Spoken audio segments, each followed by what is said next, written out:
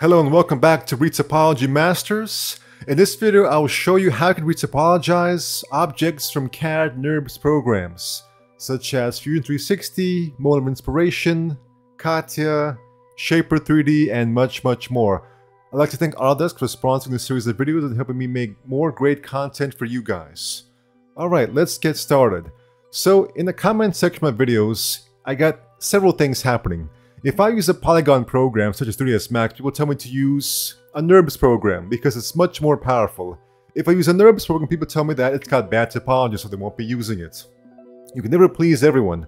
However, in this video guys, I'd like to try to offer a treaty and make both parties happy. So I'm going to show you guys the benefits and how you can work, go from NURBS to polygons. So the benefits of working in a CAD program is that you get to have very large fillets and very easy booleans as well, with very few problems.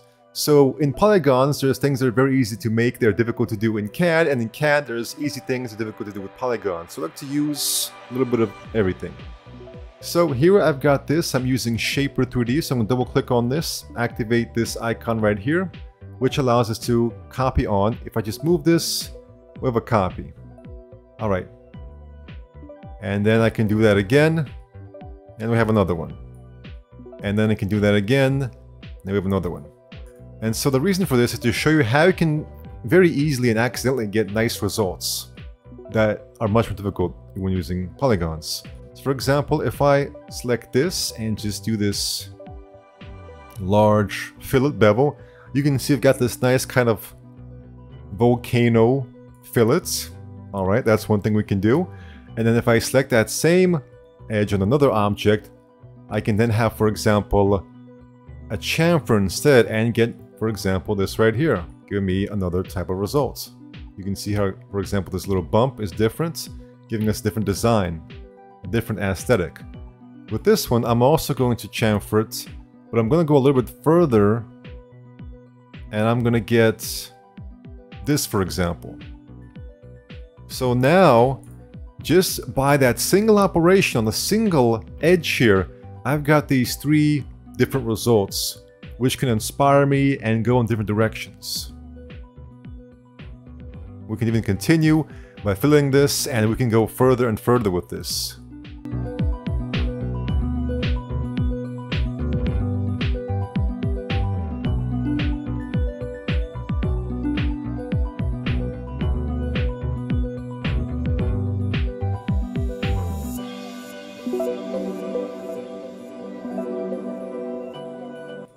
So as you can see guys, we can just get a lot of really interesting shapes very quickly here when using CAD, NURBS. So that's why when it comes to very tight, sharp, hard surface models, I think everyone should try CAD at least once just to see what they can do with it. But the question is, what do we do after we bring this into a polygon program? It's not easily subdividable and it's probably going to have lots of triangles as a result of the export process. Well, that's where retopology comes in handy. So I'm going to go ahead and just press Ctrl to select everything, and we're going to export this as an OBJ. Another option is to first export this to MoI 3D and then export that. However, in this situation, Shapr3D gives us pretty good exports to OBJ, so we'll just skip that step. But just be aware, MoI has a very excellent export import feature as well. And if you want to transform model into a CAD model, for example, you want to transform polygons into CAD, then you want to use MoI as, as a very good solution for that. Alright, and here are the objects. If we click on it to see what the polygon count here, you can see it's pretty low here. This is much higher because remember guys, now we have a curve. The big limitation about polygons is that once you have a curve and you have a lot more edges here in topology to establish that curve, you can see how it shoots up. Even though the objects are kind of similar in their complexity, you can see how this is much higher because of the curve. Pretty low. Pretty low. In fact, these are actually the exact same number of polygons. Pretty low, and this one again will be high because of the curvature. Alright, so let's go ahead and retopologize them. Alright, let's go ahead and apply retopology. Let's lower this to, let's start with, let's say 500 and let's click on compute. as you can see, we get really awful results. Now, why is that? Let's reset. Well, it's because even though these objects look like they have smoothing groups, they actually don't.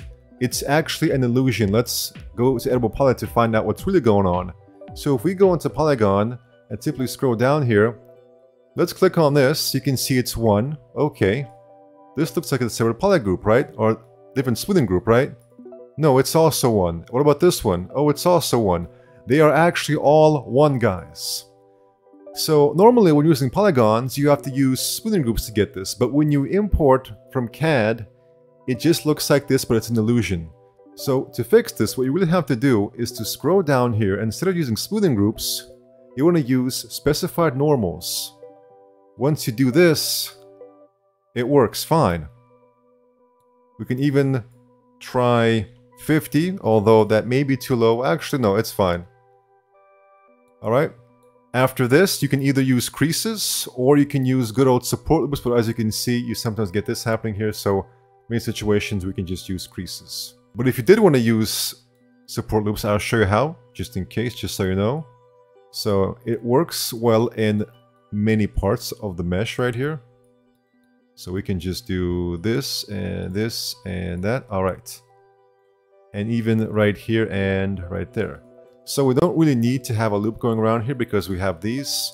So we can use Turbo Smooth and there we go.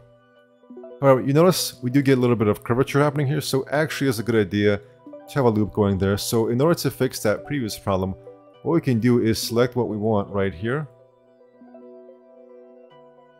Alright, we're gonna get this.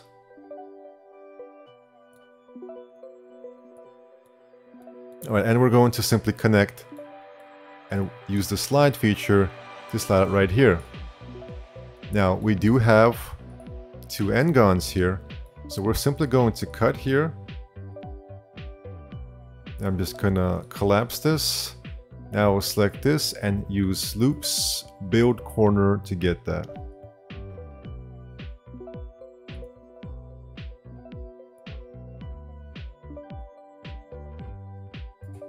There we go. And that is how you would use support loops. So as you can see guys, retopology works fine and you're even able to quickly add support loops if that's your preferred method of subdividing. It's also very easy to continue to model this. You may have to straighten a few vertices up here. But after you do, you can easily continue to extrude and do various other operations.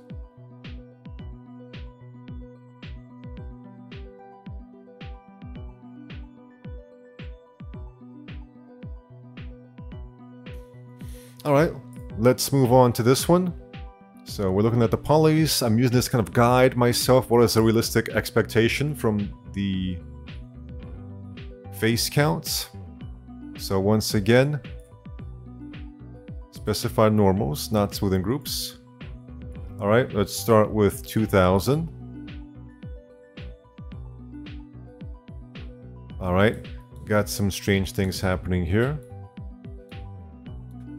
All right, if you're still getting this error right here, what we can try and do also is use Subdivide. It still comes in handy even after CAD. Alright, you notice how Subdivide clears the smoothing groups. Which means afterwards, it's a good idea to apply Smooth. And let's try again. There we go. So after Subdivide, we got a very good result. So as you can see guys, Subdivide also helps a lot with CAD models. And now it's no issue. Very nice clean results. Taking that CAD mesh and giving us something very workable, subdividable, and renderable inside of a Polygon program. Alright, so I've showed you how to fix things. Let's just go through the rest of these four, make sure everything works fine.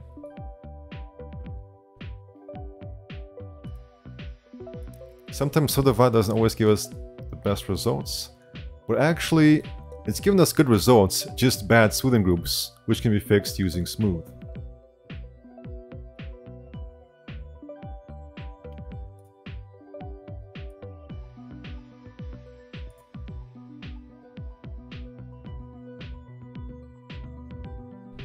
Alright, I'm gonna try a different one. Let's try Let's try variable curvature. Alright. And then retopology after that. Actually, we need to apply smooth.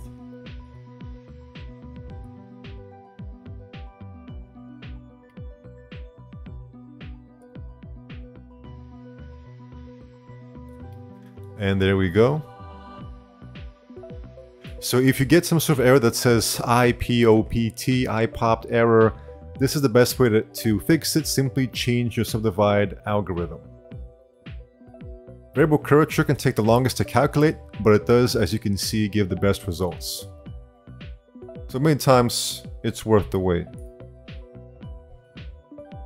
There we go, 250, no problemo.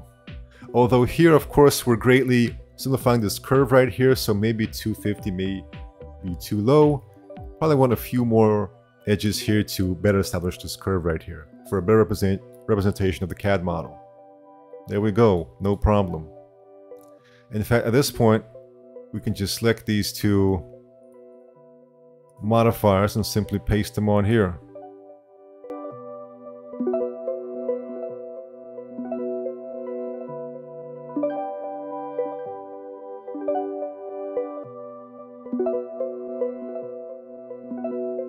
There we go. So as you can see guys, no problems. Now of course these meshes are more simple. With more complex models I always recommend splitting it up as much as you can. So if you have a whole spaceship, that might be a nightmare to work with. So be sure to split it up into more simple pieces. Then Retopology becomes much more fun and intuitive to work with. And so once again, you can choose creases, or support loops work very well as well because of how clean the retopology is. Alright, thank you for watching and take care.